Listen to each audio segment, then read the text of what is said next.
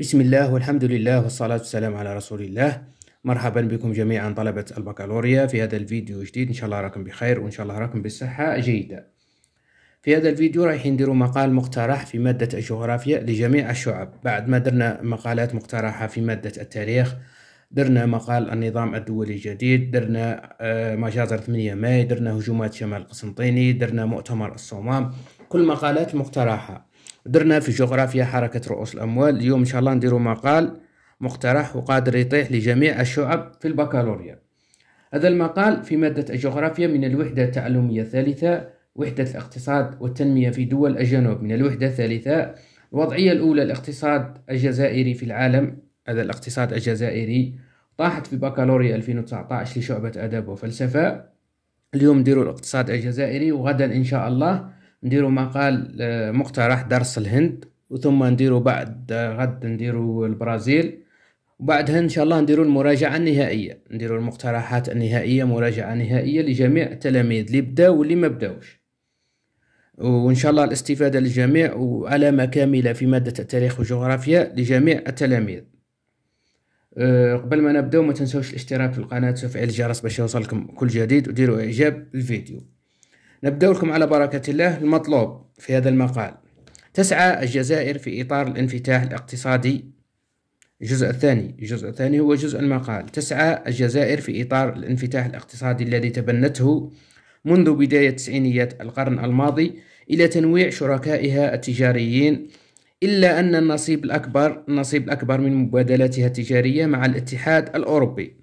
المطلوب هنا انطلاقا من العبارة واعتمادا على ما درست اكتب مقالا جغرافيا تبين فيه. السؤال الأول طبيعة المبادلات التجارية للجزائر مع الاتحاد الأوروبي. عوامل بقاء الاتحاد الأوروبي أول شريك تجاري للجزائر. أنا السؤال هذا من الدرس الأول الوضعية الأولى من الوحدة الثالثة الاقتصاد والتنمية في دول الجنوب. رايحين نقراو على اقتصاد بلادنا وسهل يا جماعة هذا الدرس يا جماعة اقراوه للاحتياط. كاين تلاميذ قالوا لي ما نقراوهش وهذا أكبر خطأ. اقراوه للاحتياط. دوك نعطوكم الإجابة نتاع هذه الأسئلة. هذا هو المقال. الجزء الثاني المقدمة. شوفوا واش ديروا. رايحين نوظفوا فيها فكرة الجزائر بين السعي لتنويع شركائها التجاريين وارتباط مبادلاتها التجارية بالاتحاد الأوروبي. لازم نوظفوا هذه العبارة. أو أي مقدمة وظيفية أي مقدمة واجهة تصلح. ونطرح السؤال. لازم تطرح سؤال في المقال. السؤال الأول طبيعة المبادلات التجارية للجزائر مع الاتحاد الأوروبي. طبيعة المبادلات التجارية للجزائر مع الاتحاد الأوروبي. الإجابة كما تفهمنا عناصر كما رانا دايرينها. ما نديروهاش على شكل فقرة. يعني هنا نوعية المبادلات التجارية في هذا السؤال. أه وش رانا نصدروا لهم وش رانا نستوردوا من عندهم؟ عفوا. في هذا العنصر نديروا مع الاتحاد الأوروبي. في الدرس هذا في الدرس هذا يا جماعة تلقاو طبيعة المبادلات مع الدول العربية والدول الإفريقية تلقاو مع دول أوروبا تلقاو مع بقية العالم. في البكالوريا تاع 2019 طاح لهم هذا السؤال أدب وفلسفة. يعني هذا العام ممكن تجيك مع آه، بقية العالم مع الدول الإفريقية والدول العربية. أقرأوا هذا الدرس. المهم إحنا نشوفوا اليوم مع الاتحاد الأوروبي يعني نوعية الصادرات ونوعية الواردات وش رانا نصدروا لهم وش رانا نستوردوا من عندهم. طبيعة المبادلات. في الصادرات شوفوا إيش عندنا. مبادلة مواد أولية معدنية. مواد أولية معدنية. الفوسفات وطاقويه بترول وغاز. مواد زراعية تمور بعض الخضر. هذه نصدروهم لهم. وش رانا نجيبوا من عندهم وش رانا نستوردوا منتجات مصنعة آلات أجهزة مصنعة ونصف مصنعة قطع الغيار وسائل تكنولوجية. مواد غذائية القمح والحليب هذا وش رانا نستوردوا من عندهم. نشوفوا السؤال الثاني عوامل بقاء الاتحاد الأوروبي أول شريك للجزائر. قال لك عوامل بقاء الاتحاد الأوروبي أول شريك للجزائر الأسباب اللي خلات بقاء الاتحاد الأوروبي أول شريك للجزائر. وللعلم الاتحاد الأوروبي يا جماعة يعتبر أول وأهم شريك تجاري للجزائر.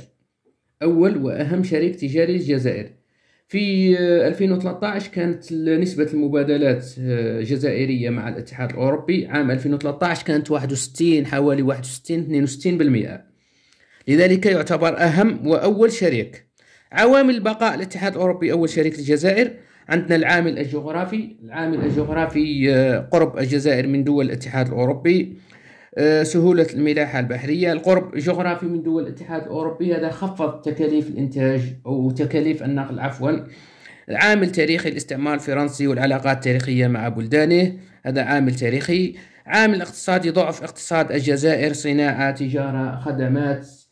آه اتفاق الشراكة الموقع عام 2002 كذلك حاجة أوروبا للمحروقات نقدر نزيدوها حاجة أوروبا للمحروقات الجزائرية وحاجة الجزائر إلى التكنولوجيا الأوروبية. يعني راها ند للند نحتاجهم ويحتاجونا. في الخاتمة شوفوا شو نديرو. تنويع الشركاء للتخلص من التبعية. لازم نوظفوا هذه العبارة حتمية تنويع الشركاء للتخلص من التبعية. باش نتخلصوا من التبعية لازم نديروا شركاء متنوعين. تقبل كل خاتمة وظيفية وكل خاتمة وجهة صحيحة تقبل.